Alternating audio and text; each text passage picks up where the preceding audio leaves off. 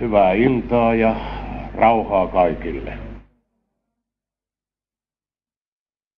Tulihan se viimein tuo hyvä laulu, jota minä olen jo monena iltana odottanut, että Paavo sen laulas. Siinä on kerrottu minun sisäisen elämän toive, kaipaus ja rukous. Ne ovat hyvin sattuvia sanoja. Vaikka minä olen yli 40 vuotta julistanut Jumalan sanaa, evankelimia, eri paikoissa, eri kaupungeissa, jopa eri maan osissakin, niin aina tuntuu siltä, että niin kuin ensimmäistä kertaa astus tälle paikalle se Jumalan antama vastuu kuolemattomasta sielusta. Se on niin suuri, että sitä ei ihmissanoilla voi koskaan tyhjentävästi sanoa. Se tietää, että minun edessäni istuu toiset iankaikkiseen kärsimykseen, toiset iankaikkiseen iloon Jumalan yhteydessä. Tänäkin iltana on näistä arvoista kysymys. Ei ole ensikädessä kysymys siitä, että sinusta tulisi jonkun seurakunnan, kirkkokunnan jäsen. Emme kerää jäseniä, vaan ensikädessä on kysymys siitä, että sinusta tulisi Jumalan ihminen, uudesti syntynyt Jumalan valtakunnan kansalainen, joka ylistäisit Herraa siitä, että sinä olet saanut syntisi anteeksi ja olet elämässäsi tehnyt oikean valinnan.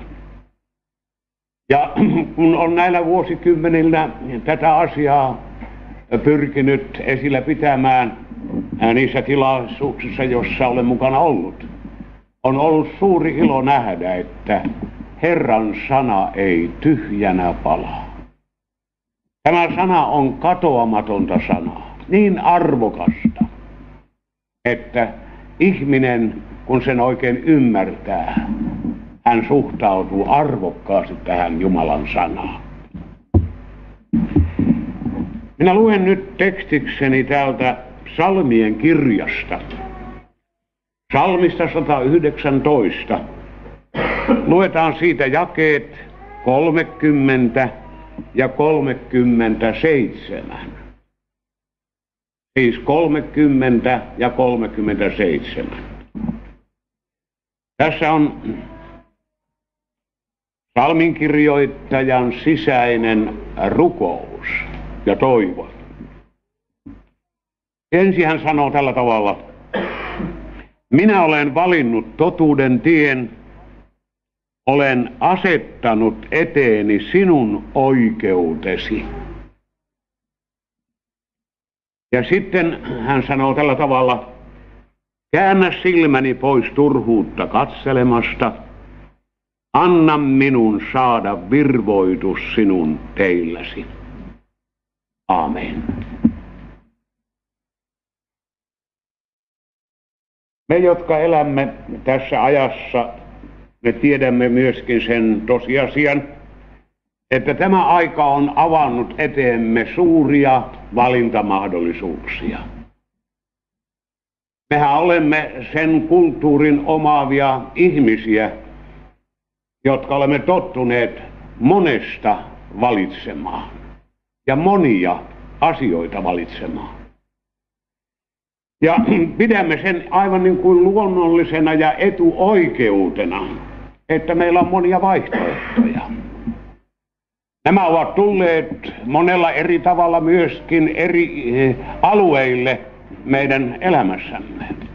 Ja jopa niin pitkälle, että jotkut ovat jo niitä aivan kuin eh, tahtoneet tuoda esille näille pyhillekin alueille – että on olemassa ihmisillä monia eri vaihtoehtoja näissä asioissa. Toiset saattavat olla katolisia, ortodokseja, luterilaisia, helluntalaisia, vapaakirkollisia, baptisteja ja niin poispäin. Näitä vaihtoehtoja on ja ihmiset sitten aprikoi ja kyselevät ja ajattelevat sillä tavalla, että mikä vaihtoehto nyt parhain on. Ja usein ihmiset, kun tällä valinnalla sitten on oikeus tehdä ratkaisuja, aina tutkailevat sitä, että mikä olisi helpoin vaihtoehto.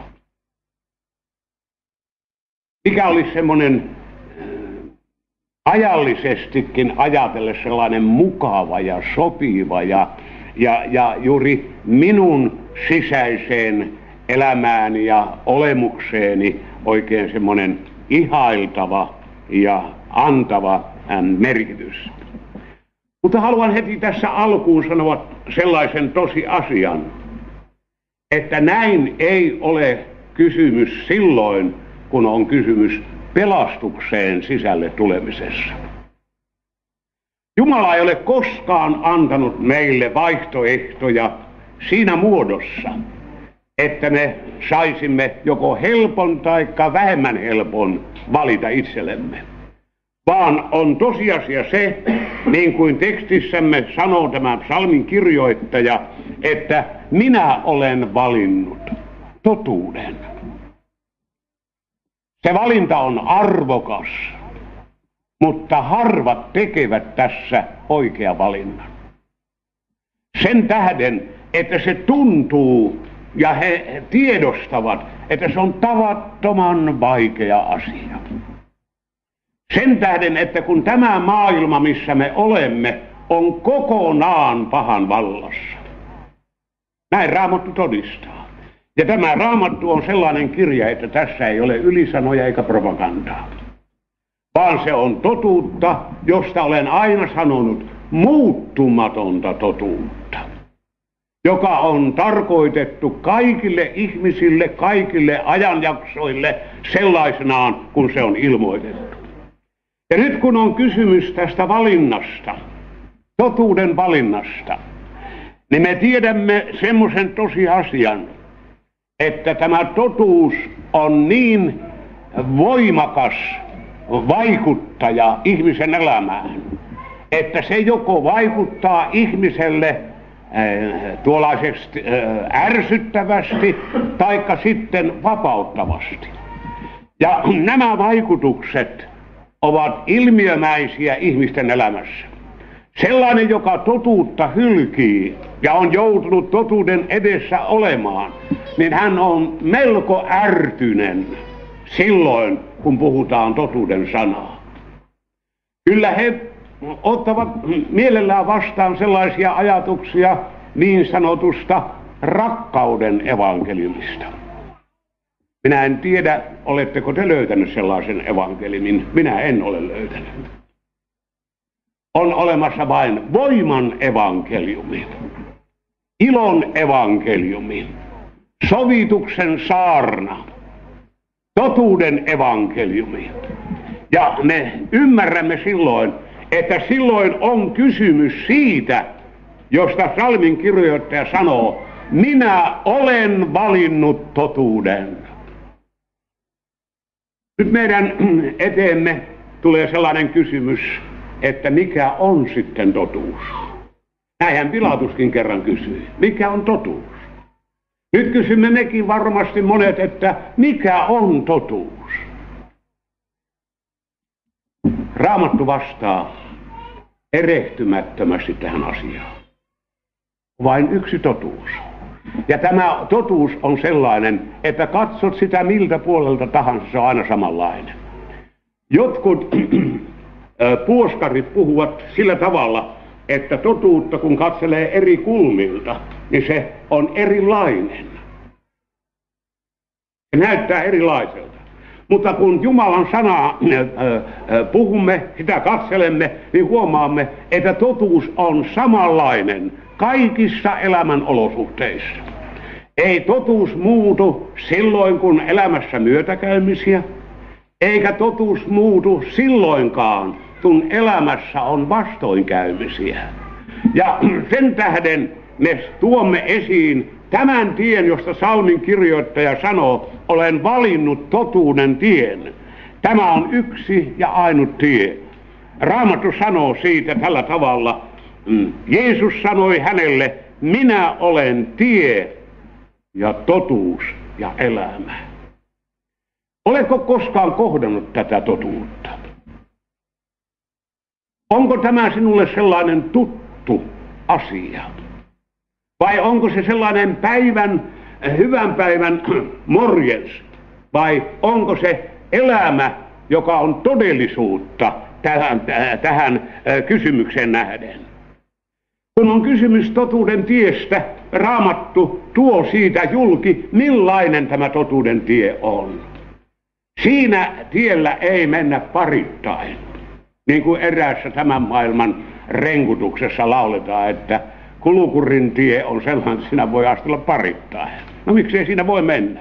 Mutta taivastiellä mennään vain yksilönä eteenpäin. Se on sellainen tie, että siinä ei voida ottaa, isä ei voi ottaa poikaansa eikä poika isäänsä. Ei äiti tytärtään eikä tytär äitiään. Siinä vain mennään yksilönä tätä tietä eteenpäin. Ja tämä on niin merkillinen asia, että kun valinnan edessä olemme, joudumme valitsemaan totuuden ja vääryyden kanssa, niin me joudumme niin erilleen leikatuksi kaikesta, mikä on ympäristössämme vaikuttamassa meihin. Jopa perhepiiristäkin on astuttava ulos. Ei ollenkaan sovi sillä tavalla tehdä, että niin kuin eräs sanoi, että salli minun ensin käydä sanomassa jäähyväiset omaisille. Oli Jeesuksen kutsua, äh, kun Jeesus kutsui seuraansa. Toinen sanoi, että isäukko on kuollut, että päästä nyt hautajaisiin ensin. Monilla ihmisillä on tällaisia arvoja, jotka ovat aivan hyviä asioita noin muuten, mutta ensiarvoisen tärkeää on se, että antaa kuolleiden haudata kuoleensa. Antaa toisarvoiset asiat romuuntua. Tärkein asia on se, että olet tullut valitsemaan totuuden elämääsi, joka merkitsee sitä, että sinä olet valinnut Jeesuksen Kristuksen. Tämä totuuden tie on ihmeellinen tie. Raamattu sanoo siitä, että se on pyhä tie. Ja sitten edelleen sanotaan, sitä ei kulje saastainen ihminen. Se on kirjoitettu Jesaja 35.8. Se on pyhä tie, sitä ei kulje saastainen. Kirkkotietä voi kulkea vaikka minkälainen konna. Ihminen voi paljon kätkeä elämäänsä, että jopa seurakunnan nimi luettelonkin voi tulla sellainen luikertelija, niin kuin Paavali sanoi Galatian seurakuntaan tulevan. Semmoinen, joka ei ole kokenut totuutta eikä, eikä päässyt sisälle totuuteen. Hän on tullut omien konstiensa kautta niihin tilanteisiin. Mutta Jumala ei ole sanassaan sanonutkaan, että hän, per, hän pelastaa massoittain ihmisiä, vaan yksilönä. Ja kun on kysymys tästä totuuden tien valitsemisesta, tälle tulemisesta, tässä tiellä olemisesta, niin Raamattu tuo kirkkaasti esiin sen tosiasian, että tämä tie on pyhä tie. Ja sillä ei kulje yksikään saastainen ihminen. Vaikka olisi kuinka itsestään äh, ajat, hy, hyvää ajatteleva ihminen. Ja sitten tässä raamatun kohdassa jatketaan näin, että tämä tie on heitä itseänsä varten. Joka sitä tietä kulkee, kulkee ei eksy, eivät hullutkaan. On tämä ihmeellinen tie. Mä tunnen siellä kotikylällä yhden semmoisen, jota koko kyläläiset pitää pikkusen semmoisena lyhyenä. Mutta menepäs keskustelemaan hänen kanssaan uskon asiasta. Hän on antanut elämänsä jo nuorena Jeesukselle. Hän on valinnut totuuden tien. Ja kun hän kulkee tuolla kyläkunnalla, hän todistelee Jeesuksesta. Hän iloitsee siitä, että on saanut synnit anteeksi. Toiset nauraa, pilkkaa ja aliarvioivat häntä. Mutta täytyy vain sanoa, että ne, jotka pitävät itseänsä nerona, viisaina tässä maailmassa, ne hoippuvat räkäposkella tämän maailman kapakoissa ja ovat synnin sitomia. Mutta tämä, josta ihmiset ajattelevat, että se on hyvin lyhyt ja hyvin yksinkertainen, hän riemullisesti kulkee eteenpäin. Voitto saatossa. Kiitos Jumalalle. Sen tähden, että tämä tie on niin kirkas, niin ihmeellinen. Se on elävä tie. Kunnia Jumalalle. Ja se tie on sellainen, josta Raamattu sanoo, että vanhurskaan polku on kuin aamurusko, se kirkastuu kirkastumistaan. Sitten raamattua kun luemme edelleen, me voimme sanoa näin, että ei ole tällä tiellä leijonaa. Merkillinen tie, turvallinen tie. Tällä tiellä ei ole leijonaa. Ei nouse sinne raateleva peto. Ei siellä sellaista tavata. Ja sitten sanotaan, ketä siellä on. Lunastetut sillä tiellä kulkevat. Ne, jotka ovat saaneet syntinsä anteeksi, jotka ovat tulleet totuuteen, ne saavat kokea, että he vaeltavat tällä tiellä. Ja tämä tie ei ole sitten mutkainen tie. Monet ajattelevat, että tällä tiellä voi mennä sitten omien suunnitelmiensa mukaan. Toiset sanoo, ei sitä tarvitse kasteelle mennä. Mitä se on lahkolaisten höpinää. Sitten toiset sanoo, no mikä se semmoinen pyhiä yhteys on? Ei semmoista olemassakaan. Ei, meidähän pitää uskoa niin kuin isät aikoinaan uskovat. Sitten puhutaan semmoisista erikoistilanteista, jossa oikein voimallisesti halutaan tuoda tämä ihmisen aikaansaama uskonnollisuus. Hienojen kul, äh, äh, tuommoisien kulttien kautta. Kulisit tehdään valtavan äh, vaikuttavaksi. Taiteelliset kuvat, lasimaalaukset, kupolit, kultaa ja hopea on. Niin, että oikein tuntuu, että kahina käy, kun kulkee näissä tilanteissa. Mitä sanoo taas ne, jotka Jeesusta seuraavat? Pietari sanoi kauniin portin pielessä tuolle kerjäläiselle, joka oli käsi pitkällä ja pyysi almua. Pietari sanoi, hopeaa ja kultaa minulla ei ole. Minä olen tyhjä tasku. Galilean järven köyhä kalastaja. Mutta sitten hän sanoo, sitä mitä minulla on, sitä minä sinulle annan. Se on arvokkaampaa kuin tämän maailman arvot. Hän ei kaatanut tuota kaadettua, niin kuin tämän päivän ihmiset tekevät, vaan kaatunutta hän tarttuu käteen, nostaa tuon ramman jaloilleen, ja rampa lähtee hyppelen kiittelemään Jeesusta, minkä tähden hän oli saanut kokea totuuden siunauksen elämässään.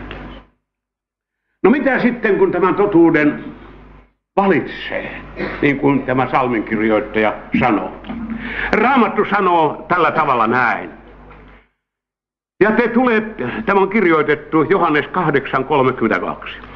Ja te tulette tuntemaan totuuden. Ja totuus on tekevä teidät vapaiksi. Kiitos Jumalalle kun sinä tulet totuuden tuntemaan, valitset totuuden elämääsi, niin sinun elämässäsi tapahtuu sellainen prosessi, jota et itse voi millään voimalla taikka teolla aikaan saada. Sinusta tulee niin vapaa ihminen, että sinua ei sido mitkään tämän ajan siteet jotka ovat hyvin voimakkaita monta kertaa muuten vaikuttamassa. Erään kerran jouduin keskusteluun erään henkilön kanssa. Kun oli kysymys siitä, että hän lähtisi tielle ja valitsisi totuuden elämäänsä, niin hän sanoi, niin, hän sanoi minulle niin, että hän joutuisi koko sukunsa hylkimäksi. Sen tähden hän ei voinut ajatella, hän kyllä tunnusti, että asia on hyvä. Hän tunnusti, että kyllä, kyllä, kyllä sinä ihan oikein puhut. Mutta minulla on semmoinen tilanne, että minä en voi lähteä, koska koko suku on omaksunut toisenlaisen elämän katsomuksen. Minä sanoin hänelle tämän raamatun sanan. Kun tulet tuntemaan totuuden, niin totuus tekee sinut vapaaksi. Mooses, vaikka hän oli vaaraan tytön äh, ottopoikana, ja hän oli saanut Egyptin kaikki aarteet hallintaansa, niin mitä sanotaan hänestä? Häntä ei hallinnut nämä arvotekijät. Hän käänsi katseensa voittopalkintoa kohden. Ja hänestä sanotaan, että hän mieluummin kärsi yhdessä Jumalan kansan kanssa, astui ulos Egyptin aarteiden keskeltä. Meni ulkopuolelle leirin kantamaan Kristuksen kansan kanssa kristin häpeää. Totuus on tällainen. Se tuntuu jumalattomasta ihmisestä, on mielipuoli ihminen, joka tällaisia arvoja hylkii jotka on niin mahdottoman arvokkaita. Mutta kuulkaa, kun Jeesuksen tulee tuntemaan, totuus vapauttaa. Sitten toinen tärkeä asia. Täällä kolossalaiskirjeen ensimmäisen luvun kunnessa jakeessa sanotaan näin. Jona te kuulitte ja opitte tuntemaan Jumalan armon totuudessa. Eikös rakkaudessa? Niinhän ne tänä päivänä lurputtelee. Rakkautta, rakkautta, rakkautta. Armo on se, että on olemassa rakkautta. Oikeaa rakkautta. Oikea rakkaus on se, joka iloitsee yhdessä totuuden kanssa. Ja nyt armoon, kun tullaan sisälle, niin vain tullaan yhdellä tavalla. Ja se on se, että tullaan tuntemaan totuus.